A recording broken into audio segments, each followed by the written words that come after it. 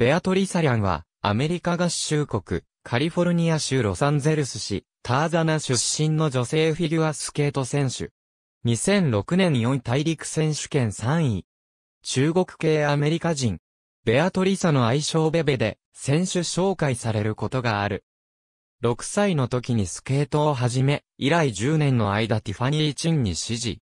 2000年トリグラフトロフィーノービスクラスで優勝し、2000から2001シーズンからは、シニアの全米選手権に出場。2002年世界ジュニア選手権4位。2002から2003シーズンには、ジュニアグランプリに参戦し、ジュニアグランプリファイナルに進出。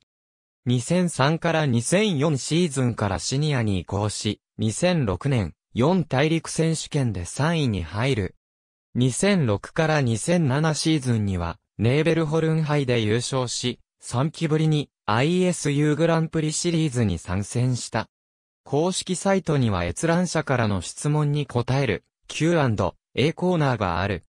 これまでの回答では、好きなスケーターに、ミシェル・クワン、イリア・クーリック、カート・ブラウニング、クリスティ・山口を、好きなジャンプに2回転アクセルと3回転ループを挙げている。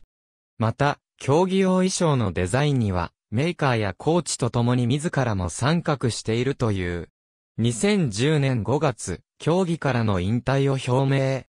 US-US Figure Skating Announces Off、Season Changes icenetwork.com、05、07、2010、坂井田優、06から07シーズン振付師相関図、フィギュアスケートデイズボリューム2ダイ X 出版、2007年3月、ピアニッシモ32から35。